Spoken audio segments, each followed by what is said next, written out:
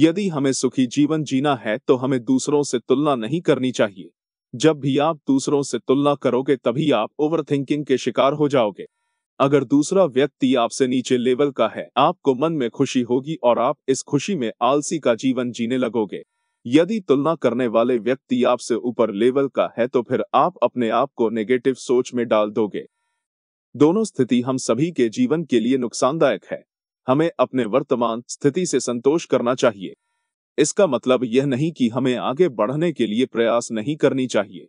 जिस प्रकार चिंता और चिंतन दोनों शब्द में अंतर है, ठीक उसी प्रकार आलस और संतुष्टि दोनों में अंतर है।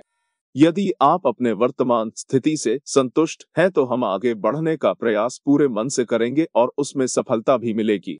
यदि आप अपनी वर्तमान स्थिति से संतुष्ट नहीं रहते हैं तो हमारा किसी भी अन्य कामों में मन नहीं लगेगा और हम आगे नहीं बढ़ सकते हैं। जब आप अपने वर्तमान स्थिति से संतुष्ट होंगे, तभी आपके अंदर एक आशावादी विचार उत्पन्न होगा। जब आप अपनी ज़िंदगी से असंतुष्ट रहेंगे तो आप कोई भी नया विचार नहीं अपना सकते हैं। इसलिए मैं आपके साथ आज एक अच्छी मोटिवेशनल कहानी शेयर कर रहा हूँ, जो आपके लिए काफ़ी लाभदायक हो सकती है। एक व्यक्ति रोज पत्थर तोड़ने का काम करता था। वह घर से थोड़ा दूर बड़े से पर्वत के पत्थर तोड़ता और अपना जीवन यापन करता। एक दिन उस व्यक्ति ने सोचा कि क्या हम जीवन भर यही काम करते रहेंगे। क्या हमारे ज़िंदगी में कभी आराम नहीं मिलेगा? बात सुनते ही उनके मन में एक असंतुष्टि की भावना उत्पन्न हो गई और वह अपने आप को कोसने लगा। असंतुष्टि की भावना के कारण उसे रातों में नींद आना बंद हो गई। वह हमेशा सोचने लगा कि मुझे बड़ा बनना है। एक रात, जब वह सो रहा था तो उसने एक सपना दिखाई दिया। जब वह पत्थर तोड़ने जा रहा था, उसे रास्ते में एक बड़ा सा बंगला दिखाई दिया। उन्होंने सोचा, यह बंगला ही सबसे बड़ा है। यह मेरे पास होना चाहिए। वह बहुत देर तक बंगले को देखता रहा। कुछ देर बाद एक व्यक्ति आया, जिसको सभी लोग फूलों की माला पहना रहे थे और जयकारा लगा रहे थे। वह व्यक्ति कोई राजनेता था उस पत्थर तोड़ने वाला ने सोचा कि यह बंगला तो बड़ा नहीं है, बड़ा तो वह व्यक्ति है जिसको सब इतना आदर सत्कार कर रहे हैं। अब वह पत्थर तोड़ने वाला व्यक्ति सोचने लगा कि नहीं मुझे अब नेता बनना है।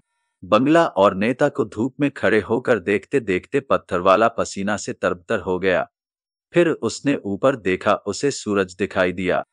तब उसने सोचा कि सबसे बड़ा ये सूरज है, जो इतना ऊपर चमक कर सबको रोशनी दे रहा है। मुझे भी कितना पसीना से तरबतर कर दिया।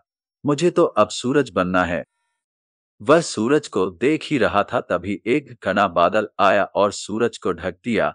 पत्थर तोड़ने वाला व्यक्ति ने सोचा यह बादल ही सबसे बड़ा है जो पूरे सूरज को ढक दिया।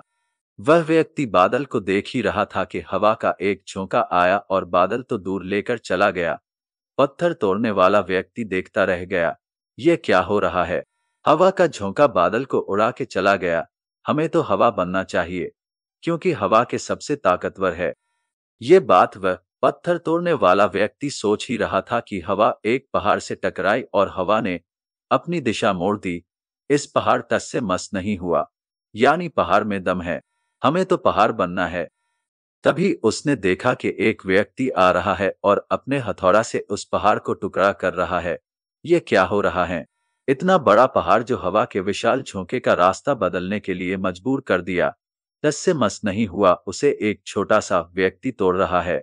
व्यक्ति बार बार सोच रहा था, नहीं, ये नहीं हो सकता, ये कभी नहीं हो सकता, मुझे पत्थर तोड़ने वाला नहीं बनना है, किसी भी हाल में मुझे पत्थर तोड़ने वाला नहीं बनना है, क्योंकि वह स्वयं पत्थर तोड़ने वाला व्यक्ति था।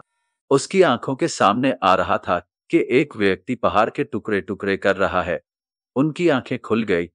फिर उसने सोचा, मैं जो हूँ, जिस हाल में हूँ, मैं ठीक हूँ।